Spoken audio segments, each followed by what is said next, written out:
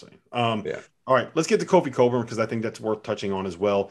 Uh, Illinois announced on, I guess it was Tuesday at this point, that he was going to be suspended for three games as a result of uh, committing a violation that is no longer a violation. He sold team issued uh, apparel on the web. I believe it was on Players Trunk back in June when everybody thought that he was going to the NBA draft. Um, you were not allowed to do that and return to school because this happened before the NIL legislation was put into place. I know there are different rules in every state. Um, I don't think anybody really understands kind of nationally. My understanding, uh, and I think this was backed up by reporting from Jeff Borzello of ESPN.com. In Illinois, right now, you are allowed to sell team issued memorabilia after the fact. Uh, I who, who fucking knows what these these NIL Yeah. rules, but um, I'll let you guys have your say on this. I, I just want to make one point. I just think it's the height of stupidity and uh, a very a very dumb PR play to suspend a kid for a violation that was committed three month uh, three weeks before a rule changed to make it so that this is no longer a violation.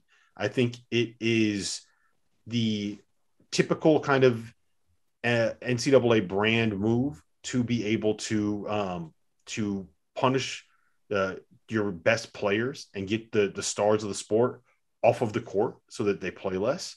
And I think that it is exactly what you would expect out of an organization that did all of the stuff that we talked about for Oklahoma State to create an incentive for a guy that came back to school to for for a guy that came back to school to punish him for something to create an incentive for the next Kofi Cockburn to not come back to school. It just I- I'm I'm not going to get all self righteous about it. I just think it's dumb. I understand why they do it, and by the letter of the law, it's it's kind of what you got to do. But it's just it's it's the height of stupidity, man, and it's just such a horrible PR move. But hey, look, the NCAA PR, they- they're never going to be able to get out of their own way.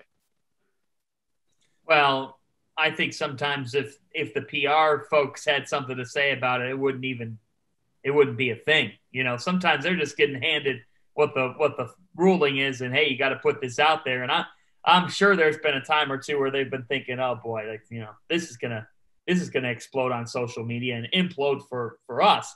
Um, I, look, the the Kofi Cockburn to me, when I first saw the news, I thought, okay, this is the NCAA making an example out of someone so that it gets noticed to the, the country and then it gets noticed by other student athletes that, hey, we are monitoring this. We're looking at it closely. Even though it is a free market, uh, they found a loophole uh, by him doing something right before NIL uh, became a thing. And by the letter of the law, yeah, it is a violation. Uh, other players have, that's why, am I surprised? Not at all. Uh, but I feel like, you know, we grown at this and, and rightfully so. I don't know if anything's really gonna gonna change about it. But for Kofi Cockburn, it's unfortunate. It stinks. He chose to come back to college basketball. Um, I think Illinois will be just fine. You know, they, they have a game at Marquette. Um, and that's still a game that even without Kofi Cockburn, I think Illinois will probably be favored in.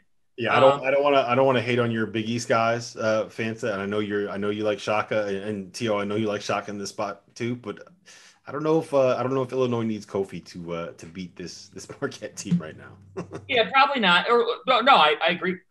I agree with you. Uh, but but I think you know they're going to be fine. Um, they, they- I just I feel for the kid because like we we just we we get so in the weeds on some of this stuff and we forget that we're just talking about guys that haven't even fully like they don't even fully know who they are or, or what they are yet because they're at such a young age.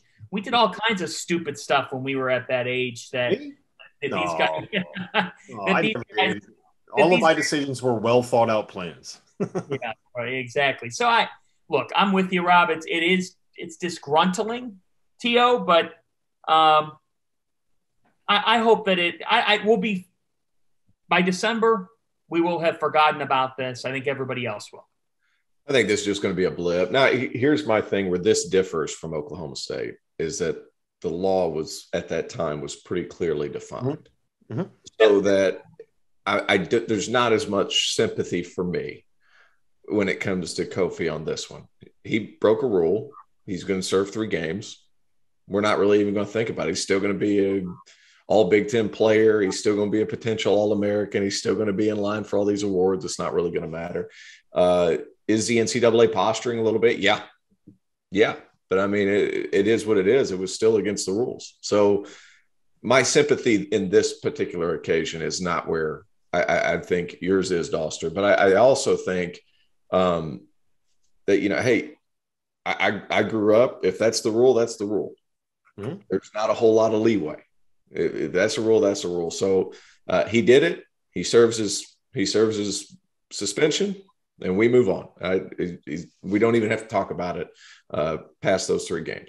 No, you're right, and it's definitely one of those things where we're talking about it because, like, what the hell else do we have to talk about at this point? Good point. it's it's the end of preview season, man. We need hoops to get here. Uh, yeah. But I mean, you're right. Like, I I can't. I think it. I think it's dumb, and I think it's silly, and I think it's just like a bad PR look to punish something, punish someone for something that is no longer, uh, no longer against the rules um, after the fact. But like, it's also he broke he broke the rule. Like, you can't really complain about it all that much. So um, it is. Now, I have a question on this, if I can ask. So, did he? I just want to clarify here. Did he? Was he selling this merchandise at a point when he was still in the NBA draft, or was he coming back to Illinois and this stuff was available for purchase?